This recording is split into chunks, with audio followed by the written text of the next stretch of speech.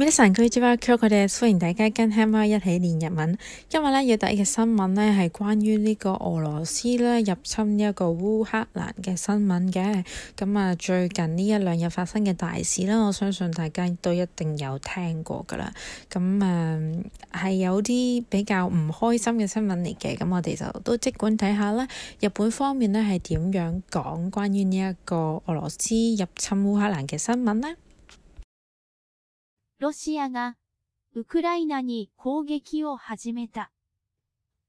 ロシアのプーチン大統領は21日、ウクライナの東にある2つの州で、ロシアに近いグループが支配している地域を一方的に国と認めると言いました。24日には、ここに住む人を守るために戦いを始めると言いました。そして、ウクライナの軍の施設への攻撃を始めたとロシアの通信社が伝えました。ウクライナの政府は、ツイッターに、ロシアがウクライナに攻撃を始めました。平和な街が攻撃を受けています。世界は、プーチン大統領を止めなければなりませんと書きました。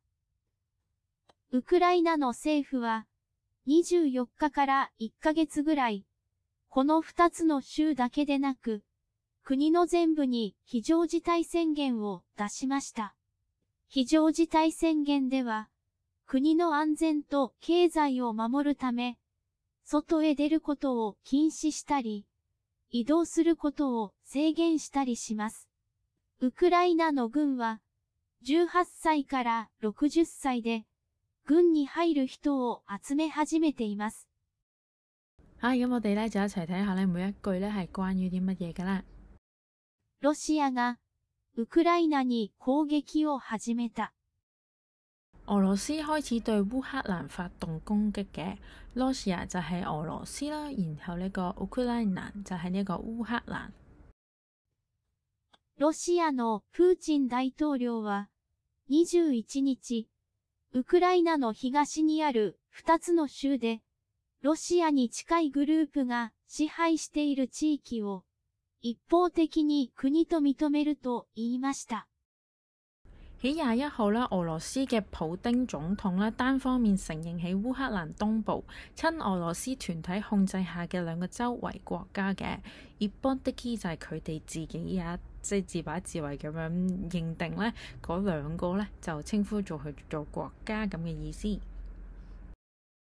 24日には、ここに住む人を守るために戦いを始めると言いました。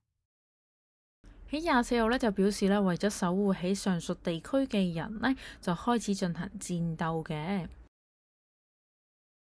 そして、ウクライナの 軍の施設への攻撃を始めたとロシアの通信社が伝えました。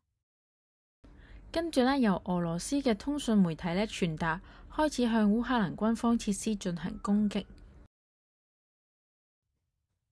ウクライナの政府は、ツイッターに、ロシアがウクライナに攻撃を始めました。烏克蘭政府咧喺呢個 Twitter 咧維特上邊咧發布咗俄羅斯開始對烏克蘭發起攻擊。平和な街が攻撃を受けています。和平嘅城市咧正係遭受到攻擊中。世界は、プーチン大統領を止めなければなりませんと書きました。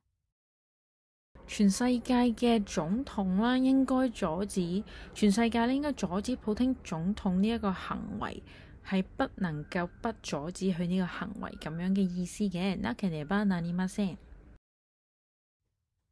ウクライナの政府は、24日から1ヶ月ぐらい、この2つの州だけでなく、國の全部に非常事態宣言を出しました。烏克蘭政府咧宣布喺廿四號開始嘅一個月左右咧，唔止上述嘅兩個州，全國咧都係進入呢個緊急狀態嘅。非常事態宣言では、国の安全と経済を守るため、外へ出ることを禁止したり、移動することを制限したりします。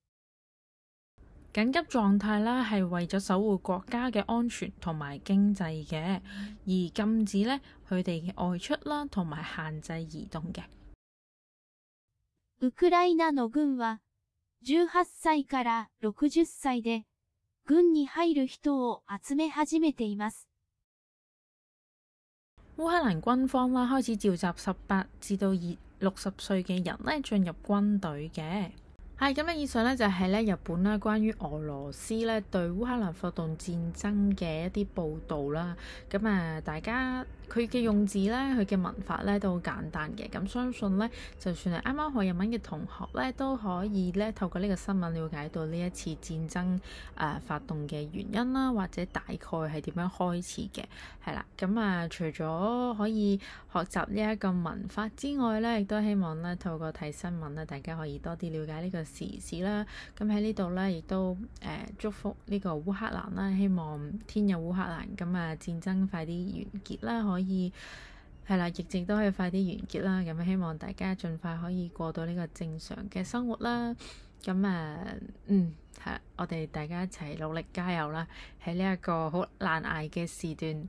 嗯，希望我哋大家都身體健康啦，亦都希望大家好好咁生活落去啦。